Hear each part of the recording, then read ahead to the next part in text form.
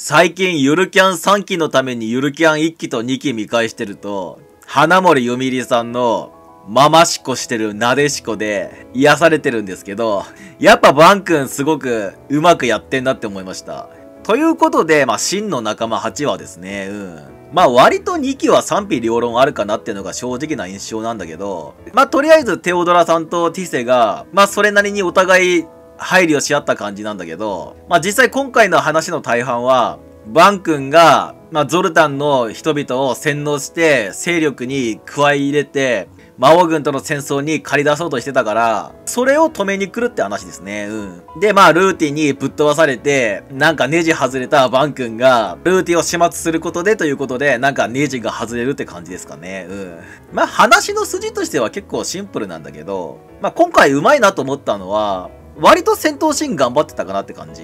まあ、真の仲間は、まあ、良くも悪くも低予算だっていうのは感じるんだけど、まあ、今回の戦闘シーンなんかは、まあ、ダナンの必殺技カットインだったり、まあ、レッドはレッドなりに導きてやろうとしてたりとか、まあ、ルーティのパンチのぶっ飛びっぷりとかは、まあ、かなり気合入ってるし、割と一気で、あの、アレス君ぶっ飛ばした時のメタファーみたいなものも感じるし、まあ、結構気合入ってんじゃないかなと思います。割とこの辺のメリハリついてて、まあ普段はちゃんとお色気描写とかに気合入れてんだけど、まあ、戦闘作画の時は気合入れてって感じか。うん。まあ、一期の時も、まあ、終盤正直きついなと思うところあったんだけど、まあ、気合入れるところとかはかなり気合入れてたからね。うん、アレス君の顔芸とか、まあ、最終決戦の、まあ、ルーティの運命を巡ったバトルとかね。うん。まあ、バン君が今後どうなるのかっていうのは、まあ、微妙なとこなんだけど、ただ、旧勇者パーティーに対して、まあ、連携も含めて、割とレベル差を感じるっていうのは、なかなかうまい描写だったと思うし、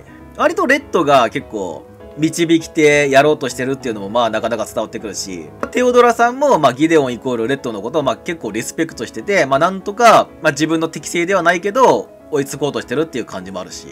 まあ追放系の作品ではあるんだけど、その後どうするのかっていうことを考えると、まあ勇者の引き継ぎとか必要になるから、まあバン君もまあ成長させなきゃいけないから、まあそこら辺レッドとルーティたちがどういう風にやっていくのかっていうのが、まあ終盤の見どころになってくると思います。まあアレス君も、まあ転生して最弱テーマの世界に行って、アイビーを弟にしたいとか、ドタバイ出すからね。うん。いや、最弱10はいいですよ。うん。最強タンクもいいけど。まあ、そこら辺、追放系他作品が独自の動きをしてるっていうのは、まあ、なかなか面白いなと見てて思います。ということで、真の仲間、いよいよ佳境に入ってくるので、まあ、レッドたちの責任の取り方として見届けたいと思います。